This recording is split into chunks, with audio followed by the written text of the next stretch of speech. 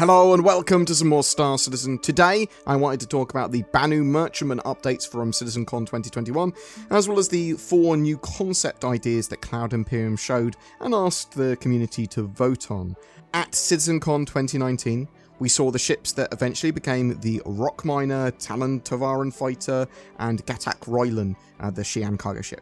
And there is a refinery ship that is apparently coming pretty soon, potentially around the Intergalactic Aerospace Expo. It might be from MISC, but the details are purposefully fuzzy um, from Cloud Imperium. There are four new super early concepts that they showed at CitizenCon 2021, though. A new large explorer ship that is going to be competition potentially to the Carrack. That's the sort of idea there. Um, a new ground vehicle, maybe an APC or military um, sort of type vehicle like that. A hover vehicle, sort of like a new Gravlev bike, and the sort of concept here looks a bit like a Xi'an or Tevarin sort of styled bike. And finally, we have a new ground bombing ship, a single seater specifically focused at bombing is the idea here. Um, you can get involved on the poll on the RSI website and talk about uh, what you like most from those four options. I'll link that all down below. I think that I'd like to see the new Explorer and maybe an APC the most there. Um, those are the, the two that talk to me the most. Uh, Zin very much is um, into the APC and wants it to be um, sort of aliens-styled APC. Uh, a ground bomber makes sense as well, but I think I'd rather see the ships like the Eclipse and Gladiator get bomb payload options instead uh, of a whole new bomber, maybe. But what do you think? Now on to the main event. The Banu Merchantman was talked about. Uh, the ship has evolved somewhat. So the ship is currently in production, so it's being worked on. It's been scaled up and has been made larger. The ship now has a hangar for the Banu Defender. Um, this had the biggest impact to the Merchantman and the work that they've done to it. Uh, the hangar is at the top front of the ship and opens up, um, so it is sort of enclosed when not accepting um, or releasing a fighter from it. The Merchantman has two massive size 8 weapons tucked away that open out and extend from the uh, sort of near its nose. Uh, there are manned turrets, I believe they said they were size 5, tucked away that open up as well. Um, there are also four automated point defense weapons two on top near the bridge and two underneath. Now, these are going to automatically try to shoot down missiles, um, projectiles, torpedoes, things like that that get near. I'm not entirely sure um, if they actually provide fighter defense as well, but they are supposed to be these automated systems and will give much better coverage of a sneaky torpedo. There are two remote turrets controlled from the bridge under the wings as well. The ship just has a huge array of um, conventional weapons uh, to basically defend it. It's not supposed to be like a ship of war, but in lore, uh, the Banu do bring these to bear in combat. They sort of like get all of the ships um, that all of the Soulis and all of their local governments can to bear if they need to do security or go to war. So for access to the ship, the bottom ramp opens up, which basically doubles up as the fuel scoop when it's in flight, but you have this ramp opening up and that leads visitors into the marketplace.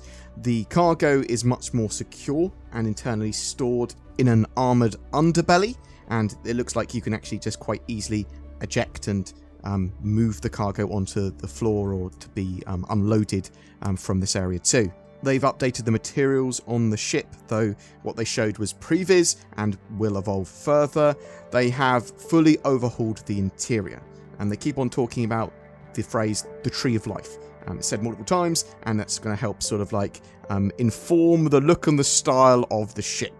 Um, there are a mix of gemstones and what I think looks like carved coral. It's very organic and has sometimes almost underwater themes. They talk about nautilus shells informing some of the design decisions here.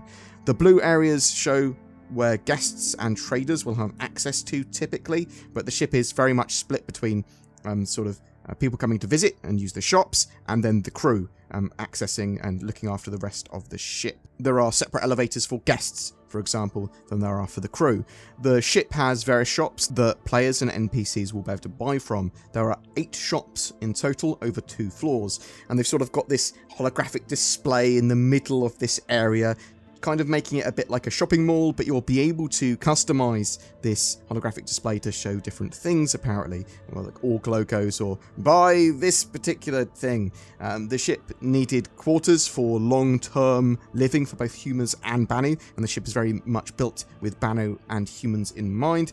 They showed some of the connecting corridors to the marketplace area. They also showed a quite functional large food or mess area. There is a massive engine and engineering area um, with a spinning thing going on that counter rotates. It's supposed to look really cool. The cargo area will have massive cargo containers that will be moved on, by an onboard crane or giant magnet or something like that. Um, players will be able to um, sort of sort the cargo there, and it's going to be on these like giant cargo containers that you might see at like um, Dockland uh, in the real world. It is planned to have a cargo of 2,800 SCU here, um, so that's less than some people would have wanted, but the ship does have multiple trading functions. It's a bit of a hauler, it's got a load of shops on, it's to take on visitors, it can probably resupply in the places um, that it goes and take its trade goods back to other places, but it's not just a not just a hauler. The bridge is pretty big and has a lot going on on it. And I'm hoping that we get to see a lot more of the bridge in the future and they actually give us a bit of a breakdown. They said that there was a little calm space off to the sides as well, it's like almost like a prayer room, and the the Banu sort of like can go there and, and chill out. Uh, the Banu Merchantman isn't going to be ready anytime soon though, with current work ongoing into June 2022, and we don't know how much work will be needed even uh, once that current work is completed. But it is making progress, and seeing it expand, evolve, gain that hangar bay for the Defender, that's great to see. You can use that hangar to service and refuel a wing of defenders one by one, giving them a much larger range actually providing a lot more defense for that merchantman. And that merchantman's obviously got quite a lot of pew pew uh, and boom boom with it, but um, it's not going to be um, great against um, lots of smaller ships, for example, or, things like that. So um, having a wing of fighters might be a good idea. And I really like the idea of the weapons being hidden away on the merchantman until they're needed. It makes sense for a trader to not be too threatening.